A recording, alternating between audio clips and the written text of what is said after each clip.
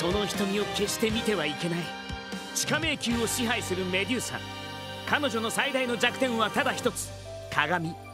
次々と石像にされていく逃走者たちに生き残る術はあるのか。そしてメデューサに捕らえられたシグマの運命は。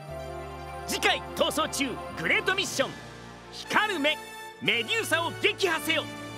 目指せ逃走成功。君は逃げ切れるか？